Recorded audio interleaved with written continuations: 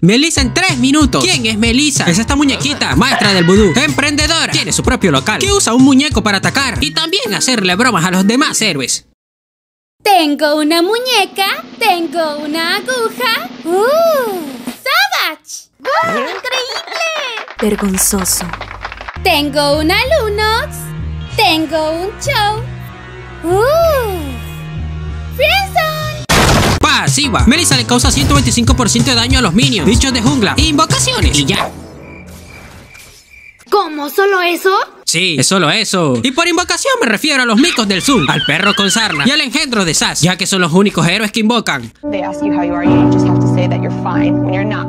Primera habilidad, Melissa parpadea, ganando hasta 75% de velocidad de ataque. Réplica de Mosco. Segunda habilidad, Melissa lanza su muñeco maldito. Otro demonio maligno, camuflado con ternura. El nuevo archirrival de Molina. Este muñeco te causará daño físico y te ralentizará por un tiempo. Aparte de eso, si te agarra, te quedarás enlazado con él. Y si eso pasa, cada básico que Melissa te pegue, el muñeco también lo hará. Incluso si el rango de Melissa no te alcanza, Melissa puede apuntarle al muñeco y esta a su vez te pegará a ti. ¿Y cómo le pego al muñeco, Harley? Aquí, con Melissa el apuntado a los monstruos, se cambia apuntado al muñeco. Son expertos, expertos, Bob. ¿Y dónde se cambia, Tuerca, controles y elige cualquiera de estos dos. ¿Y si no quiero apuntar?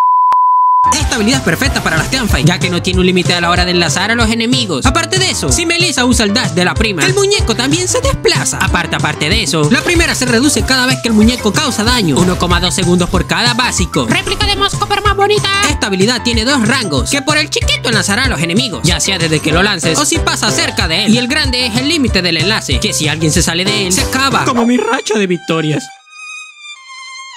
Ultimate. Melissa tiene un fantasma que va con ella a todos lados. Al usarla, este la protegerá, creando un escudo que repela a todos los enemigos, evitando que puedan acercarse a ella. Así que ningún héroe cuerpo a cuerpo podrá atacarte, lo cual hace que Melissa sea counter de un chingo de héroes.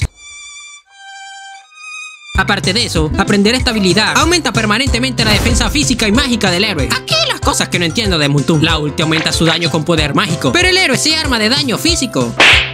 Se me olvidó decir que el campo se puede mover una sola vez. Con Melissa caminando, pero con el dash zonas que puedas. ¿Cómo jugar? Llévalo a la línea del oro. Melissa es un tirador con mucho pokeo y con mucho rango, ya que si tienes al muñeco vinculado con alguien que está lejos, pero tienes a otro objetivo cerca, aún así le causarás daño. Llévalo con esta build. Aumentala la primera habilidad siempre, ya que el porcentaje de velocidad de ataque por nivel aumenta mucho. Recuerda que no pueden acercarte a ti con la ulti, pero cualquier daño de distancia te arruinará la fiesta. La segunda es buena para revelar a los camperos. Aparte, si te alejas mucho, desaparece. Y su enfriamiento es muy corto, así que puedes usarla constantemente para mirar en los matojos.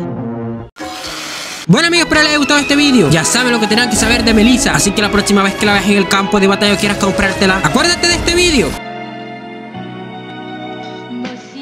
Un saludo para Johnny Sousa, Neot Scream, The Shadows, Samuel Cáceres Mendoza, Yamil, Sancho Wono Hanso y Felipe Castillo.